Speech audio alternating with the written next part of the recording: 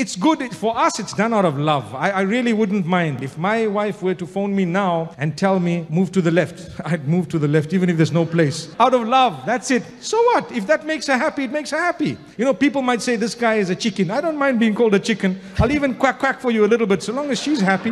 MashaAllah. Yeah, if that's what makes your marriage, let it be. One day I was speaking to a brother, Musa Adnan. Yeah, beautiful brother. Beautiful brothers. And we were talking about how important it is when you get married to know where your friends are and where your spouse stands. And the point I was raising is if your friends call you names because you no longer spend as much time as you did with them, don't become a slave of that and don't be impacted by that to oppress your spouse. And then the point I raised was well, even if they call you a chicken, what's the point? So what? I wouldn't mind being called a chicken. So what they did is they took the clip from that point and they didn't understand the context of what was being said. And then they said, This man says you can be a chicken to your wife and you can quack, quack. And I did say that. And chickens don't quack, by the way. But what I was trying to say is, look, if there's something that's minor, why do you want to make a big issue out of it? The wives of the Prophet, you know, when one of them said, I don't want to, to ride on this camel because it's too slow, he changed the camel and he put her on a faster one. I mean, what, what's that?